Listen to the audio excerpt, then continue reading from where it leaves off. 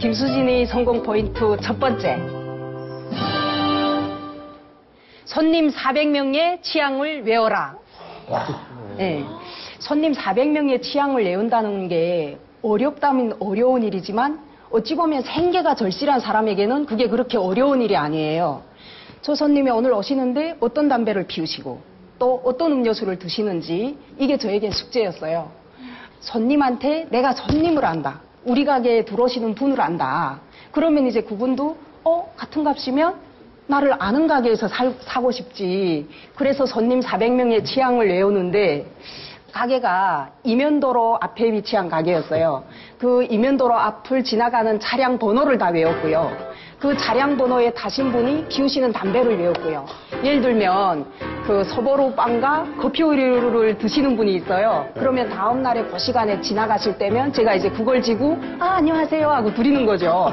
그러면 처음에는 당황해 하셨다가 말투도 이상한 한경도 말투로 그렇지만은 이제 어 저를 하시네요 하고 저녁에 오실 때는 아 뭐 이 가게에 이런 거 없어요 이렇게 주문이 들어오는 거예요. 네. 예, 그래서 이제 한 명 한 명 고객 확보가 돼서 결국에는 하루에 30명도 안 들어오던 가게에서 하루에 300명, 400명이 들어오는 단골 가게를 거듭나게 됐고요. 지금도 강진구 중곡동에 찾아가면 전설처럼 얘기를 하세요. 아, 진짜 북한 여자가 열심히 열심히 하더니 그래서 1년 만에 그 가게를 예, 들어갔던 금액이 두 배가 넘는 금액으로 정리를 하고 시간은 자꾸 가니까 조금 더? 예, 큰 가게로 가야 되겠다. 이렇게 돼서 예, 이전을 하게 되죠.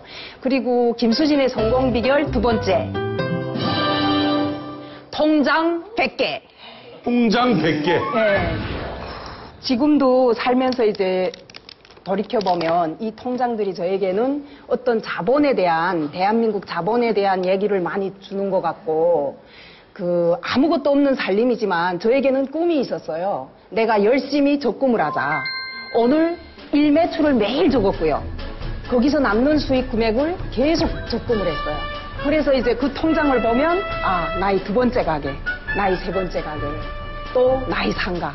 예, 이렇게 돼서 제가 이제 통장을 계속 해서 지금은 어, 되게 집에도 많고요. 예, 그렇게 많이 모았고 그것이 어떤 성공의 발판이 될 수도 있었고 그리고 성실함이 가장 중요하죠. 아침에 7시에 문을 연다고 하면 새벽 2시까지 그거는 고객과의 약속이에요. 단 하루도 두터본 적이 없고요. 그 작은 가게를 성공하게 되면서 그 후에 20평, 40평 가게 6개, 8개, 직원들도 6명, 10명, 16명 이렇게 계속 커갔고 어찌 보면 그 작은 경험이 저에게는 한국 정착에서 가장 중요했던 시절이었던 것 같습니다. 그래서 김수진의 성공 포인트 세 번째. 딱 3년만 북한이라고 생각을 해라. 제가 하나원을 추- 퇴소해서 나올 때 여기 다들 아시잖아요. 어차피 뭐 가진 것도 없고 그래서 제가 할 수 있는 일은 북한이라고 생각하자. 북한이라고 생각하면 전기 24시간 오잖아요. 수돗물 틀면 찬물, 더운물 나오잖아요. 24시간. 휴대폰 3년 없어도 되고요. 저 1년 동안 휴대폰 없이 살았고요. 좋은 자동차 없어도 되고 훌륭한 외식 안 해도 되고요. 원래 아니 없었으니까. 원래 몰랐으니까. 북한이라고 생각만 한다면 넘지 못할 산이 없어요.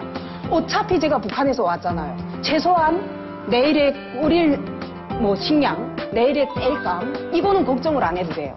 지금 이 자리에서 설명을 드리면 저도 좌절이 많이 있었었어요.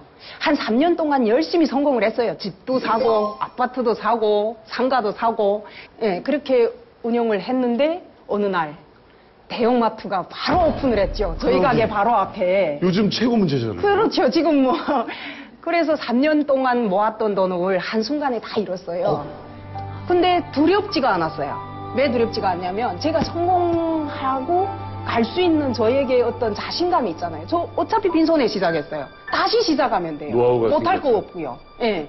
그래서 이제 그 대형마트가 오픈을 하면서 3년 동안 모았던 돈을 다 잃게 됐을 때 드디어 아, 나도 배워야겠다. 그래서 이제 아무것도 모르지만 이렇게 책에다가 창업 계획서를 썼어요. 나름대로. 생각나는 대로 그냥 적는 거예요. 이렇게 보게 되면 뭐 522동 702호 수익 분석 여기에 상가가 있었거든요. 1층에 상가가 있으면 아파트 입주민 세대가 몇 세대고 일매출이 얼마기 때문에 내가 가진 자금에서 필요한 금액이 얼마나 있겠는지 배워주진 않았지만 계속 썼어요. 계속 이렇게. 그래서 창업 계획서를 세워서 예, 나- 다음부터는 어떤 실패에 보완을 할 수 있는 점을 찾았던 것 같아요. 예. 그래서 이제 그 제가 이 자리를 빌어서 설명을 드리면 좌절을 하지 말라. 실패는 할 수 있어도 좌절은 하지 말고 다시 시작하면 그럴 때 성공을 하는 거지. 만약에 처음부터 성공, 계속적인 성공, 그거는 있을 수 없다고 생각해요. 특히 우리 탈북인들한테는. 예. 제가 이제 그 마트에서 일을 하면서도 항상 직원들은 우리 탈북인들을 다 채용해서 썼는데 가슴 아픈 건 그건 것 같아요. 외로움과 고독이 정착을 하면서 혼자라는 거. 그래서 이제 생각을 해봤어요. 어떻게 하면 내 창업 경험도 같이 공유를 하고 또 우리 북한 여성들이나 북한 탈북인들이 한국 사회에 제대로 좀 먼저 온 동일 미래로서 정착을 하겠냐. 그러다가 이제 지금은 남남북녀 결혼정보업체라고 오픈이 올해 2월이었는데 3월 달에 이만갑이 나온 거예요. 아니 이럴 수가요. 하루 방문객 수가 80명 정도 했어요. 제가 오픈을 했을 때 이만갑이 시청률이 올라감에 따라서 저희 회사 방문객 수가 300명, 400명, 600명. 지금도 뜬금없이 전화 오세요. 안녕하세요. 아, 그 이만갑 신은아 씨 혹시 회원이세요? 네. 어, 요즘 김아라 씨 일이던데요. 이 아라 씨는 이상형이 어떠세요? 그래서 이 자리를 빌어서 지금 실패 앞에 주저앉아 있다거나 또 하고 싶은 도전이 있는데 조금 두려움에 떠시는 분들이 있다면 가감하게 해보십시오. 어차피 우리는 비선의 온 땅이고 우리는 통일 미래로서 꼭 성공을 해야 된다. 예, 이 말을 강조하고 싶네요. 반갑습니다. 어, 앞으로의 꿈이 어떻게 되세요? 아, 저에게는 그 꿈이 있어요. 거의가 되는 겁니까? 어떤 거창한 꿈은 아닌데 사실은 조금 거창하다고 할지도 모르겠어요. 제 손으로 만들어준 남남북녀 커플이 이제 하나가 됐을 때 북한에 이제 장인장모 찾아뵙고 그리고 아무런 정치적 목적도 없이 남한의 순박한 총각과 이제 북한의 여성하고 남북 이산가족 상봉이 하듯이 개성이나 판문점 그 남한의 총각과 북한의 처녀가 만나서 사랑으로 분단의 장벽도 허물고 예. 지금은 그런 꿈을 위해서 만약에 이것이 특별법 제정이 필요하다고 하면 한 몸 기꺼이 바쳐서라도 예, 제정을 해서 남북 통일가족 만들기 프로젝트 예, 그걸 진행하고 싶어요. 일단 박수.